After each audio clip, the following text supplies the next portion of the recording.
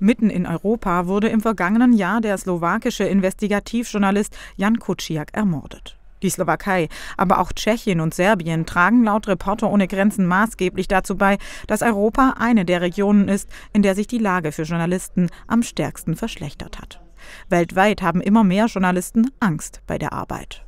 Es hat sich etwas insofern strukturell verändert, dass wir tatsächlich in etablierten Demokratien ähm, Pressefreiheit bedroht sehen. Und das ist eine Entwicklung, die wir nicht erst in diesem Jahr beobachten, sondern die sich fortsetzt. Doch es gibt auch einige Länder, in denen sich die Arbeitsbedingungen für Journalisten verbessert haben, ganz besonders in Afrika. So hat sich Äthiopien um 40 Plätze verbessert. Das liegt daran, dass es einen Präsidentenwechsel gegeben hat in 2018 und der hat dafür gesorgt, dass sämtliche inhaftierten Journalisten und Blogger freigelassen wurden. Das heißt, Ende 2018 war da keiner mehr in Haft. Außerdem gab es Medienseiten, Nachrichtenportale, die lange Zeit blockiert waren, die wurden wieder freigegeben.